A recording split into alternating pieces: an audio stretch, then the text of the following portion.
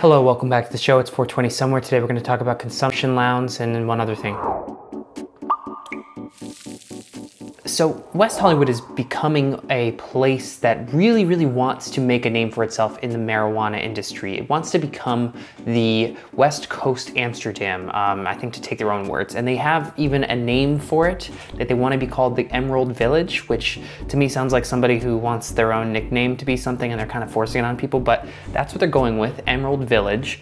And uh, the, you can tell that this is happening by a few things. One of the first things is that there are more dispensaries in West Hollywood or more planned dispensaries in West Hollywood per capita than anywhere else in the world. For instance, for every dispensary in West Hollywood, there are 5,925 residents. That's way more than somewhere like Los Angeles, which has one dispensary for every 18,000 residents. So it's a huge difference. And dispensaries are just sprouting up everywhere. There are licenses that are out there. There are so many people wanting to get in on the business in West Hollywood.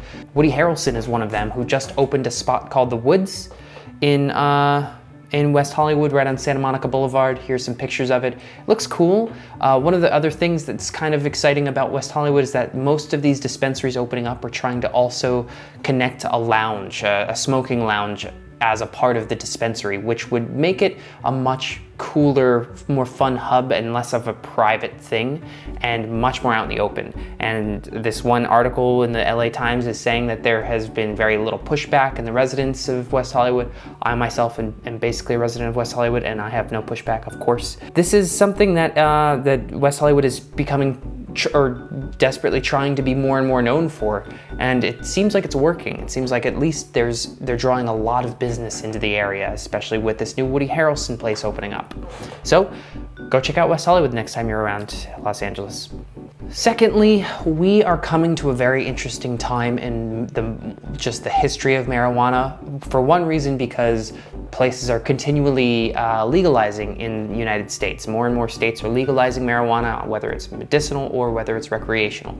That's of course the big thing. The other big thing is that a new generation is becoming is coming to legal age to smoke marijuana, and that's Gen Z. Gen Z is uh, the, the years of 1997 to 2012, so it ranges from age 27 to 10 right now. And of course, we have now five years of people who are legal and they're able to go to dispensaries and legally purchase marijuana. They're also a very interesting generation for one big reason, which is that they didn't really grow up in the era of having to have a dealer or having to like know a connect somewhere and not being, and if you didn't know a connect, you just would be screwed. You wouldn't have any marijuana for this week or wherever.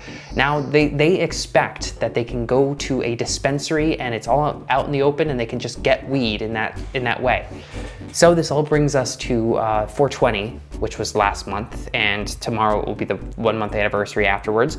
Um, every year of 420, it gets bigger and bigger, and especially now, every year of 420, it's getting bigger and bigger for the Gen Z market.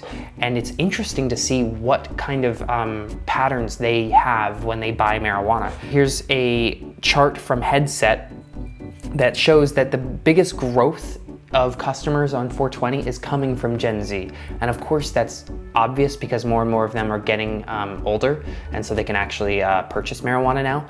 But it's pretty gigantic and especially of 2022 it's getting even bigger and I, I assume next year and the year after and the year after it's going to get huge and astronomical and that's going to be pretty much the biggest market. So then the question is what are they buying? What kind of habits does Gen Z have when they smoke marijuana? Is it just joints? Is it bowls? Or is it something new? And it seems that it's something new. Here's another chart that shows kind of what purchases they're making and beverages are way at the top there next following edibles so they have an entirely different philosophy of marijuana and it seems like they are drawn more towards just something that is pleasant to consume a aka a beverage or uh, just a, a sweet.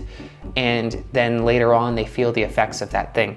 As opposed to i mean pre-rolls are third so i don't want to say that that's you know completely out the door. But it, the fact that beverages are by far the highest here is very interesting and shows that the beverage market is a very good idea to invest in at this point because it's just gonna get more and more and more Gen Z people are going to continue getting older, of course, and they will continue buying beverages and edibles. So if there was any question as to whether or not beverages was just this fad that was happening now and then was gonna fade away and people were gonna go back to pre-rolls or back to flower, I don't think that's the way it's gonna go. I think I think the I think beverages are here to stay.